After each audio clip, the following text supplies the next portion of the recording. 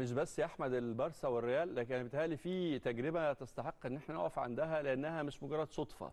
فكرة إن يكون في فريق زي جيرونا داخل بين الثلاثه الكبار بين أتلتيكو مدريد وبين ريال مدريد وبين برشلونة على منافسة فريق آه، آه، ما حدش يمكن قبل النسخة دي أو قبل الموسم ده كان ممكن يكون يسمع عنه.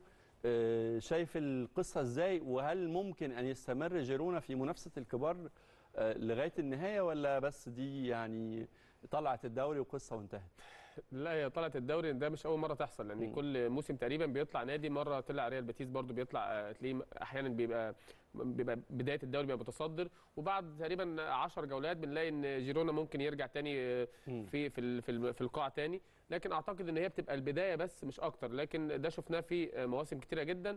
وأعتقد إن جيرونا طبعا طبعا حاجة كويسة جدا بتدي إثارة لبعض المباريات. لكن برضو جيرونا مش الفريق اللي أنت برضو تقلق إن هو ممكن ينافس الريال أو برشلونة أو حتى أشبيلية. اللي أنا بشوف إن هو ممكن يكون قريب في المنافسة معاهم لحد ما.